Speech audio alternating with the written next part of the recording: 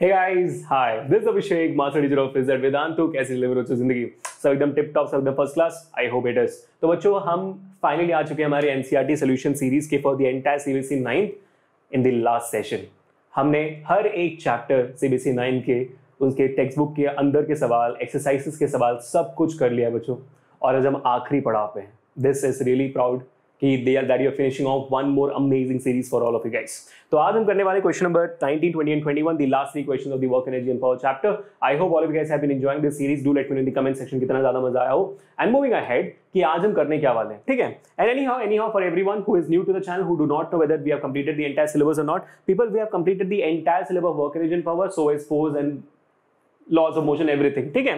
तो scientific work kinetic energy potential energy law of conservation energy power doubts and सारी चीज़ें हमने की हुई है हर एक चैप्टर के लिए। तो check out this videos on our home page with the playlist if in case you don't know how to go about it just search on youtube along with abhishek sir in the name uh, in the you know search and you'll find out all these videos so do not worry about it ठीक है? अब आगे बढ़ते तो next next next next important thing अगर आप हमारे साथ जुड़ना चाहते हो for long term pro subscription जहाँ पे आपके आपके पास होंगे सारे के सारे यू नो डाउट सॉल्विंग सारे के सारे टेस्ट सारे के सारे assignments you know interactive classes with high level quizzes competing with students throughout the world and अगर आपको इन सारे अमेजिंग अमेजिंग अमेजिंग चीज़ों की ज़रूरत लगती है तो make sure that you go to the link bdnt.net/yt pro check out कर लेना मज़ा ज़रूर जाए ज़रूर आ जाएगा और एक महीने सब्सक्रिप्शन तो ज़रूर ले सकते हो। Coupon code is AK pro if in gives you decide on enrolling ठीक है? अब आगे बढ़ते हो next question Sony says that the acceleration in an object could be zero even when several forces are acting on it. Do you agree with her? Absolutely yes. Whenever an object is in a uniform motion, अगर object uniform motion में है uniform motion का मतलब होता है कि object की speed और वेलोसिटी कांस्टेंट लेंगे फिर भी ऑब्जेक्ट मूव कर रही है। अगर वो मूव कर रही है तो इसका मतलब ये भी है कि उसके ऊपर फोर्स अप्लाइड भी है। करेक्ट लेकिन यूनिफॉर्म मोशन में ऑब्जेक्ट तब होती है जब आपके उस ऑब्जेक्ट के ऊपर टोटल नेट फोर्सेस ज़ीरो हो जाते हैं।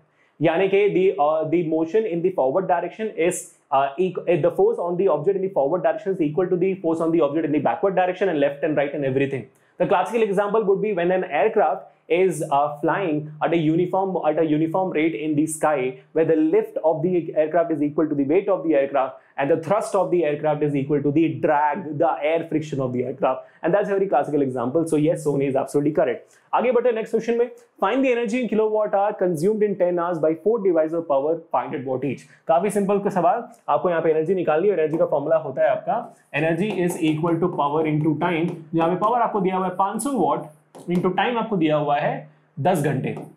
अगर आप इसे कन्वर्ट करोगे 5 into 10 you will get 5000 watt hour ठीक है, लेकिन यहाँ पे जो 5000 वॉट आवर से हमें कन्वर्ट करना पड़ेगा किलो वॉट आवर में। थोड़ा प्रोफेशनल टच होगा तो that would be five kilo watt hour है ना? सिंपल सी बात है। But this is the energy of one device आपके पास चार डिवाइसेस हैं। तो आप क्या करोगे, इसको चार से मल्टीप्लाई कर दोगे you will get 20 kilo watt hour is the correct answer that's it that's how simple the questions are from 9th grade अब आगे बढ़ते तो next question A freely falling object eventually stops on reaching the ground. What happens to its kinetic energy? That's a beautiful question. जब एक object नीचे गिरता है तो इसके अंदर जो पोटेंशियल एनर्जी था that converts down into kinetic energy with this kinetic energy when it hits the ground क्या होती है? जब भी कोई ऑब्जेक्ट नीचे गिरती है, क्या होती है भाई? चलो इस पेन को नीचे गिरा के देखते हैं क्या होता है, ठीक है? डैम आवाज़ आई? करेक्ट सो जब भी एक ऑब्जेक्ट नीचे गिरती है तो उसकी काइनेटिक एनर्जी इस साउंड एनर्जी में कन्वर्ट होती है. And also the energy converts into bit of heat as well जो जब भी कोई चीज़ टकराती है तो फ्रिक्शन क्रिएट होता है फ्रिक्शन वजह से हीट भी जनरेट होती है सो हीट एनर्जी और यू नो साउंड एनर्जी में ये काइनेटिक एनर्जी कन्वर्ट हो जा रही है That's how easy the topics are. So everything I've mentioned in detail here, you can download the PDF from the descriptions below. And I think that's it. That's it. We have completed the entire NCRT CBSE 9 series completely. I have always enjoyed it. इसी बात एक बहुत बढ़िया hi fi तो बनता ही है भाई बनता ही है बनता ही है बनता ही है बनता ही है High five to everyone, people. Thank you so much for all your love and support for the entire channel. Thank you so much for that. Hit the like button if in case you haven't yet. Share this video, subscribe to the channel, and press the bell icon, and enjoy all the videos which are there on this channel for you all. ठीक है मिलते हैं next session में until then this Abhishek signing off for today enjoy your life stay home stay safe and stay strong I will catch you guys in next one peace